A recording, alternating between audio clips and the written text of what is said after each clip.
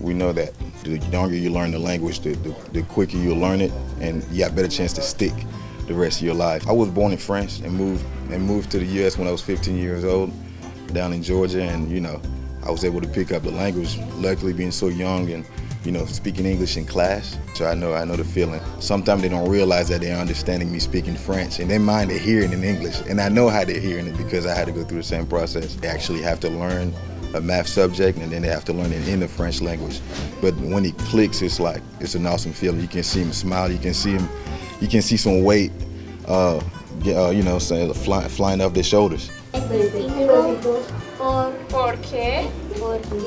can understand uh, most of, the, of things that I say, so we can we can play, uh, we can uh, explore a lot of ideas with them. Um, that's awesome. It's not easy at all, but they can do it.